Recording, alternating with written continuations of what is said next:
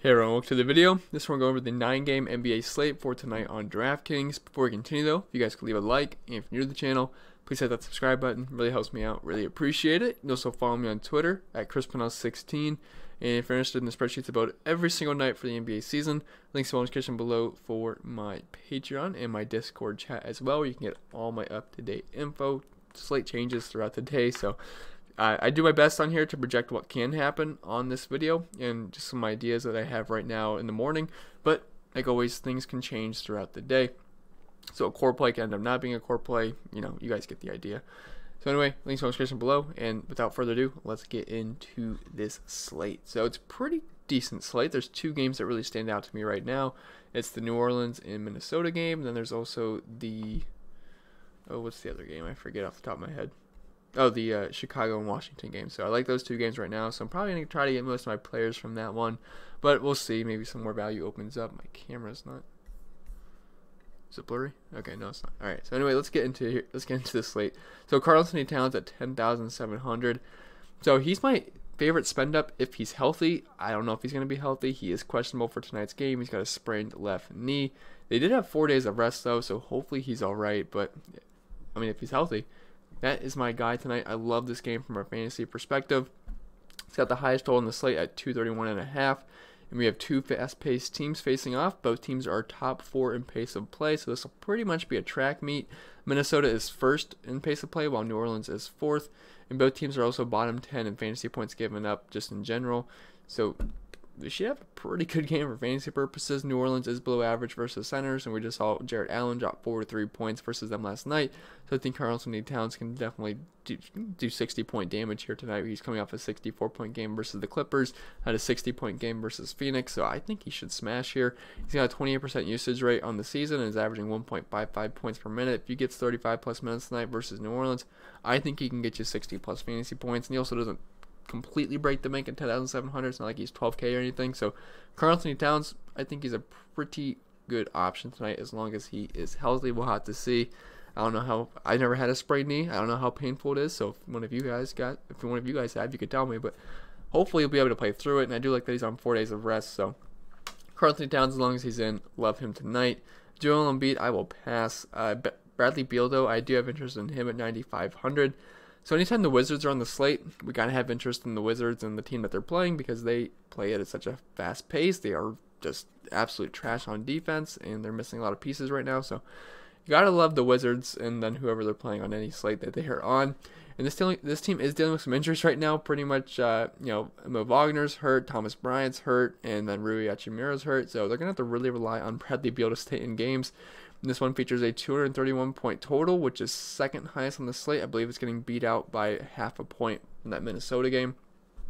We also have a really, really tight one point spread. That Minnesota game has an eight point spread, which I really don't think I should get too out of hand. But this game's got a one point spread, so I love that from a fantasy perspective because it's going to be back and forth fireworks and it should be a great game for fantasy purposes. Uh, the Wizards have 116 point team total, and Bradley Beal also broke out of his little slump with some 50 point games recently. Had 58 points versus Detroit, and then 56 points versus Memphis. Then before that, he was scuffing a little bit, 34 29, then 43 44. Then, you know, he came back after a couple down games. So, do like that he's back in good form 29 points and 35 points and you know the volume's going to be there. He's going to be taking the most shots in the team, and if this team wants to compete, it's going to be have to rely on Bradley Beal scoring a lot of points, which I think he could definitely do tonight versus Chicago. So definitely like Bradley Beal tonight, 9,500. Do think he's a pretty safe cash game option because he doesn't break the bank and he's got 60 point upside.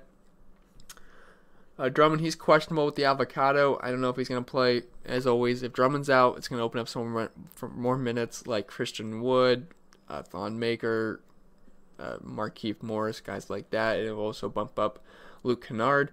And Blake Griffin's also questionable as of right now. So, again, you're going to have to see how this situation plays out. I have no idea if he's going to play or not, so I can't just sit here and act like I do know what's going to happen. I do not. So, just make sure you adjust accordingly if Drummond is out. I actually don't even know how expensive Morris is today. I'm sure they bumped his price up a little bit just in case. So yeah, he's 5,500. He's not 3K anymore. I don't know what Wood is. I think he's 5K. Yeah, Wood's 5,200. So these guys aren't like even great values, and it's not a good matchup versus Toronto either. I'm sure they bumped up Kennard as well. Kennard 5,800. That's actually not too bad. So if they were both out, I'd prefer Kennard because he's got more upside, I would say, than Markieff Morris. And Christian Wood, just from a volume standpoint. Uh, let's see what Derrick Rose is, because he 6,600. It's not too bad. I just don't love the matchup versus Toronto. But when Drummond and Blake Griffin are out, Derrick Rose has like I think it's like 1.5 points per minute and that like over a 30% usage rate. So again, just make sure you keep your eyes out on the Andre Drummond and Blake Griffin news. Uh, scrolling down a little bit, uh, Damian Lillard 9K, he screwed me last time. I played him. I don't normally play Damian Lillard, but he just fit my lineup and he was going to be pretty chalky, so I figured I'd throw him in my lineup. Must be the UPS man. I don't know if you guys can hear my dog is going nuts out there, but uh, he played 37 minutes last game. Ended up getting three quick fouls. Ended up only getting one more foul, but it just you know it hurt us. You know it hurt the game flow for him. Ended up stepping up later in the game, 35 points, which just wasn't absolutely awful, but it wasn't great either. But this is a pretty good matchup versus Golden State. They suck versus guards the bottom five versus guards. So I think Damian Lillard will be fine. It's just not one of my favorite plays on the slate. I'd much rather find the extra 500 salary for someone like Bradley Beal, and then you know Karl-Anthony Towns, Bradley Beal, my preferred spend ups. And I really don't see myself playing Damian Lillard outside of maybe like a GPP. Although I only play one lineup a night, so when I say that, I'm just saying for those of you who play multiple lineups a night. Oh my gosh. Anyway, uh, Hassan Whiteside at 8,500. Again, I played both of these two Trailblazers, and they both got into foul trouble. So I was my lineup was looking good. I was like, okay, I got Hassan Whiteside left, and I got Damian Lillard. I should be able to get, you know, like 80 points out of these guys minimum. That didn't happen at all. They both got in foul trouble. Hassan Whiteside picked up 2,000. I think the first like three minutes. Uh, at 31 minutes, which isn't too bad, but I would have liked him to get a little bit more. It was a good matchup versus Phoenix. Still got the double double, but really not what I was looking for. But He's okay in GPPs because he's averaging over 1.3 points per minute on the season, over a 20% usage rate. Good matchup versus Golden State. Very good def- defensively versus big men. So if you want to look his way in GPPs, you could definitely do so. But there is some blowout risk in this game, so something to keep your eye on. That's something I'd probably do in cash games at this price point. Uh, Kristaps Porzingis, he's definitely a solid option tonight, 8,300. Without Luka, he has been pretty fantastic the past two games. Uh, 51 points versus Miami, which was a tough matchup, then 53 points versus Milwaukee. That was a softer matchup, not the greatest matchup either. And without Luka on the court this season, he's posting a 30% usage rate and nearly 1.3 points per minute. Those are pretty good numbers for someone that's 8,300. Don't love the matchup versus Boston but they're not the greatest team versus big men. And we saw Kristaps have a pretty game versus Miami and Milwaukee. So 8,300, don't mind Porzingis here. He's no longer in the 7K and 6K range, so you have to think about it a little bit. But I do think he's a pretty solid option tonight because he gets such a such a boost without Luka, and he's shown that he's been pretty good as the main uh, main guy here the past two games. So don't mind Kristaps, and he's been playing big minutes.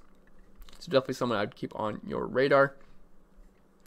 Then in GPPs, you could look at Zach LaVine. Now he is probable. I had the questionable tag, but he is probable for this game, so you have to imagine he's going to play. And I do like him for GPPs. I don't like him in cash games, but I do think he's a pretty solid GPP option.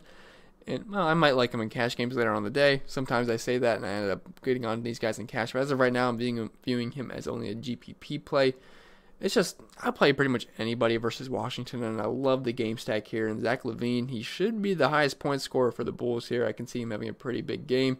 And the Wizards ranked dead last, 30th versus shooting guard. So I think LaVine should have a pretty good game here. I love his upside. I think he can get that 50 point plus potential that he has. Uh, past few games, he's been pretty good. Scored 39 real life points, 49 points, 31 real life points, 43 points. Bad game versus Charlotte, but then in 25 minutes versus Atlanta, he had 49 points, 35 real life points, 48. So the guy's honestly pretty solid. So I don't mind going with Zach LaVine here. I think he's a pretty solid option in GPPs. You could play Bradley Beal and you could run it back with uh, Zach LaVine. I had no no problem with that whatsoever. Uh, Brandon Ingram at Ingram at 8K. I think he's another solid option. He's pretty much just a really safe play, and I like this game from a fantasy perspective. So I definitely want to get exposure to the Pelicans and the Timberwolves here. And he's one of the safer plays just pretty much every single night. You just know you're going to get about 40 points from him with upside of more. I mean, if you just look at his game log, it's just what he does 41, 39, 39, 40, 45, 22 sucked, only 25 minutes versus Dallas. Then 32, 47, 39, 45. Pretty safe play. You know what you're going to get. Um, and like I said, this is two extremely fast-paced teams squaring off. Uh, highest over/under on the slate. I think a lot of fantasy points get scored here. He's averaging over 1.2 points per minute on the season, near 30% usage rate. So Brandon Ingram, definitely have interest in him tonight. Think he's a very solid option. Then scrolling down the list here is teammate Jrue Holiday at 7,800. I think he's another solid option. And again, just looking to get pieces from this game. He had a rough night last night. and he shot pretty poor, nine for 28 from the field. Only that's only 32%, two for seven from deep. But overtime did save him. He ended up getting 243 points. He was looking really rough though earlier in the game, but he does take a hit when Lonzo is starting, but he's still a solid option. He does it all in the stat sheet. He'll get his rebounds, he gets his assists, steals, blocks. He pretty much just does about everything. He also is a pretty good scorer. We'll have to see if Redick is starting or not. However, he is listed as questionable right now, so if he does miss, Lonzo should be starting again. That will take a little bit of a hit to Jrue Holiday, but Minnesota is not very good versus point guards, and I think Jrue Holiday is a pretty solid option. I think he's a safe bet for about 40 plus points. So Jrue Holiday definitely someone on my radar if you want to game stack this game, or if you just want to play him in general. I'd have no problem with that either. Uh, Chris Paul versus Memphis at 7,500. I think he's an okay option. So it's I don't typically like playing Chris Paul, but the one time I did play him, I think that's when he scored 50. Uh, yeah, 50 points versus Minnesota. He had 37 minutes, 30 real life points, and 50 fantasy points. And he's actually been in pretty good form right now. 60 points the last game versus Chicago, then 43, 41, 37, 35, 50. Most of these games don't will knock your socks off, but he's been pretty solid. And you know, so an elite matchup versus Memphis. They're top 10 in pace of play, so it's a nice pace up spot as the Thunder are 23rd in pace of play and they suck versus guards. They are 24th versus point guards, 29th versus shooting guards. He's averaging over 1.1 points per minute this year, and honestly, he's a pretty solid mid-range option if you want 35 to 40 plus points tonight. So Chris Paul on my radar. Not sure if I'll get to him because he's not a fantastic point per dollar option, but I do think he's a solid play. Andrew Wiggins at 7,600. So I'd have interest in Wiggins if Towns happens to miss this game, um, considering this is one of the best games in the slate, and there'd be a massive um, what's the word I'm looking for? There'd be a lack of usage on the court without uh, Karl-Anthony Towns, if you guys get what I'm trying to say. Uh, with him off the court this season, he has a 30% usage rate. Andrew Wiggins, that is, and he's averaging over 1.2 points per minute. And against this awful New Orleans defense, I think his ceiling would be pretty high. And he's had two good games in a row here with uh, Karl-Anthony Towns playing 41 points, 44 points, 38 points. So Andrew Wiggins, I think he could possibly flirt with 50 points if Karl-Anthony Towns happens to miss this game. So would have some interest in Andrew Wiggins here, especially in GPPs. Just going on a bit, uh, Kevin Love at 6,800. I think he's an interesting option tonight. So he's not going to grade out as an elite play, as most projection systems are giving him sub 30 minutes tonight. And I'm assuming that's based on the fact that he hasn't topped 25 minutes the past two games. But they were also killed in those two games. They lost 113 to 133. They lost 108 to 125. So, of course, he's not going to get a full complement of minutes. But in the two games prior to that, they were competitive games, and he saw 32 minutes and 39 minutes. Now, the one game was overtime, but still, he was going to get 32 plus minutes in that game. So, if it's a competitive game, I'd expect him to get over 30 minutes. So, in my own projection system, I bumped him up to 31 and a half minutes. And given us a three and a half point spread in the Cavs favor, I think that's a pretty fair assessment. And if you gave him the 31 and a half minutes, he's projecting as nearly a 6x value, which I think that's just fine. So I think he's a very solid option tonight versus Charlotte. They suck down low, 26 versus power forwards, 29th versus centers. I think Kevin Love can have another pretty good game here, and he seems a little bit to be a little bit too cheap. So do have some interest in Kevin Love tonight, given a competitive game. Derrick Rose, like I said, if all these guys for Detroit's out, you could look his way. Although the price has come up just a little bit. But one of my favorite plays on the slate, I guess for right now, I'd call him a core play. Uh, Davis Bertans here. I just really like him tonight a lot. Rui is out, as well as Thomas Bryant and Mo Wagner, so there's plenty of minutes to go around for Bertans here. And you had a recent hot stretch where he was just unconscious from three, and he, he did cool off the past two games. But let me read you some of these stat lines the past before those uh, last two games. So he was he shot 12 threes, he only hit 4 of them, but then 13 threes, he hit 7, 13 threes again, he hit 5, 12 threes, he hit 6, 12 threes, he hit 8. The guy was absolutely on fire. And without all these guys in the core, I think Bertans is going to have to have a big game here. And I love him tonight. He's going to get run at the power forward position, and they are ranked. Chicago is ranked 29th versus that position. They suck down low, so I could see him getting rebounds as well. I think a double double is definitely in the cards here. And without Rui, Bryant, or Wagner on the court, this season, Bertans has a 22% usage rate and is averaging 1.31 points per minute. That is excellent for this price of 6,500. Loves upside in this game. I like Bertans in games that are fast paced. You know, got a high total, close spread because he should be blazing threes.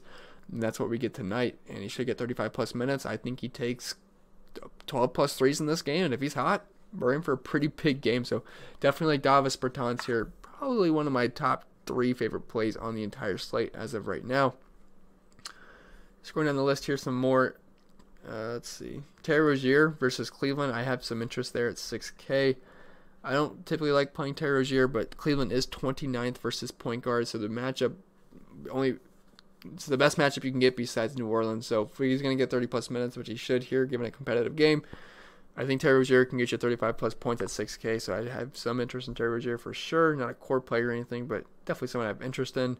Wendell Carter at 6K. I see he's got the questionable tag, but he is probable to go. So going to be in. And I do have some interest in Wendell Carter here, just getting exposure to this game. He's had two solid games in a row 30 points and 35 points, 38 minutes and 36 minutes. And this is an elite matchup. It's a versus a fast paced Washington team who absolutely has no big men at the moment. So he should be pretty fine here. I expect Washington to play pretty small. So Wendell Carter should be able to have a good game here. They're ranked 28th versus centers, and they also suck versus power forwards as well. And he's been about a point per minute this season. So if he gets 35 plus minutes, I think he could flirt with 40 fantasy points. So I do have some interest in Wendell Carter Jr. for sure. And then, you know, Markkanen, Markkanen, Markkanen, uh, he should have an okay game versus Washington. Do have some interest there. Tristan Thompson is a great matchup versus Charlotte down low.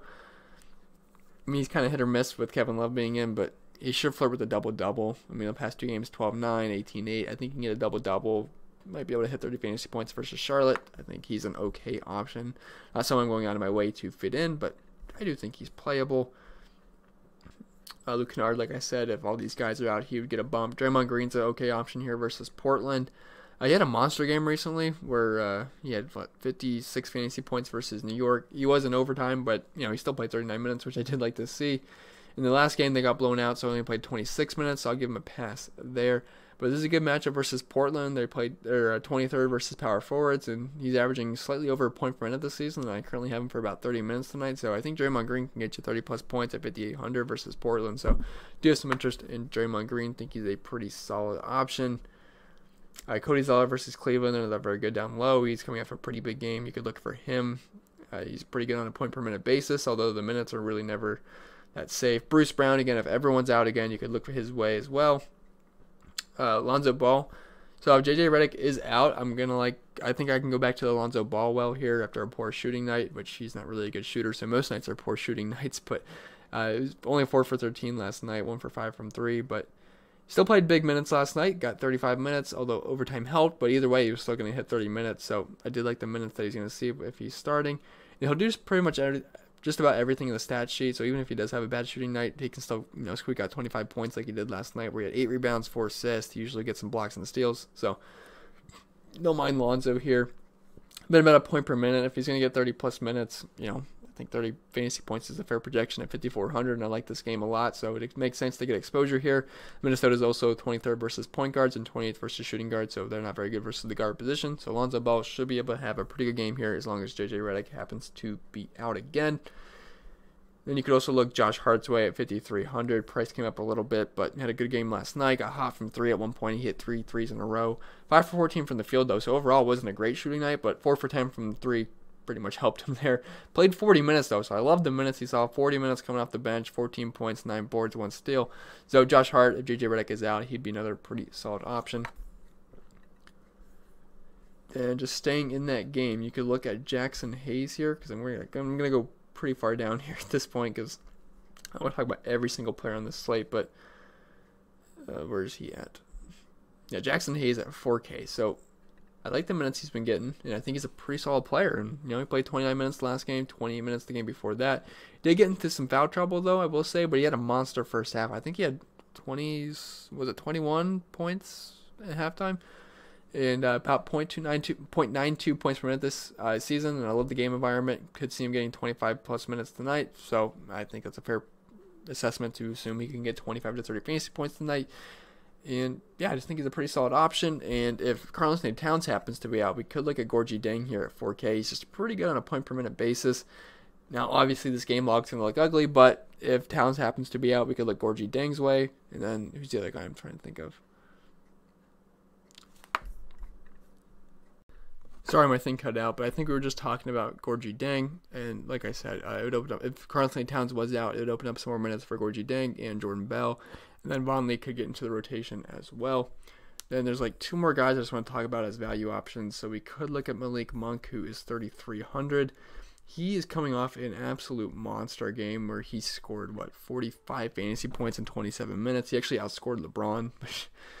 Sometimes that happens, but he's going to be more consistent than not. So I really wouldn't count on him scoring these kind of points every single night. But it's a good matchup. Cleveland's ranked 29th versus point guard, so if he's going to give me 25 or so minutes and he continues to play well, I don't see why he can't have a good game versus Cleveland. So definitely someone to have interest in at 3,300.